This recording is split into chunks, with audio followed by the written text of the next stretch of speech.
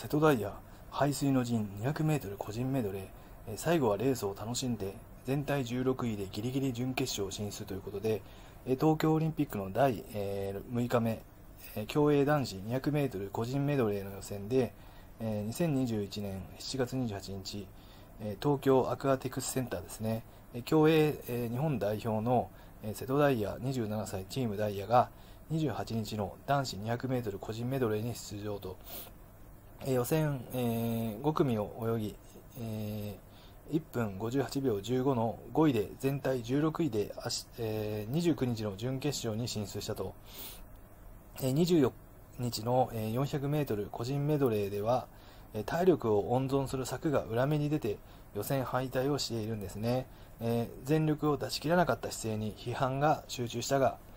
え余力を持って予選を泳ぐのは自分の戦い方と。ネットでいろいろなことを言われてムカつきますけどパワーに変えたいと宣言していたんですね、えー、望んだ 200m バタフライは予選を通過し準決勝に進んだが、えー、昨年は不倫問題による活動停止などで約 8, 8ヶ月も本格的な練習をしておらずスタミナ不足で後半失速全体11位で11位で敗退したと、えー、結果を出すしかない 200m 個人メドレー。19年の世界選手権では、え頂点に立っており、え2個え2個目の、えベストを出せば金メダルもあり得るしっかり気持ちを切り替えたいと瀬戸、え選手は言ってますと、えメダル獲得へ、え29日の準決勝に挑むということでね、瀬戸選手最後はレースを楽しんで本当に応援えしてくださる方々に結果で恩返ししたいっていうのがあったんですけども、えそういうのも一回置いといてまずは自分が納得できるレースをと思ったとね、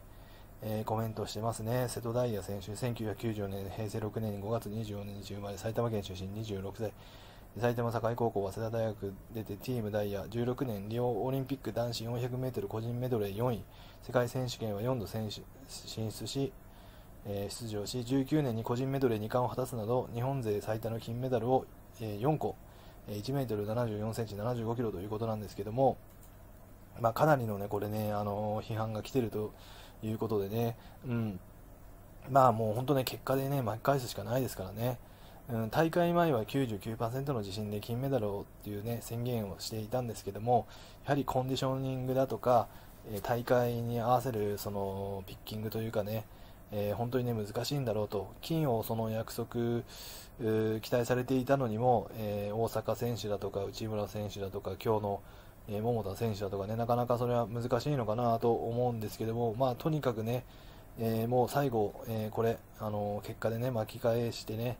えやるしかないなというね頑張ってくださいというねニュースでした。ということで本日のニュースためになった方チャンネル登録高評価をお願いいたします。では次のニュースでお会いしましょう。それではさよなら。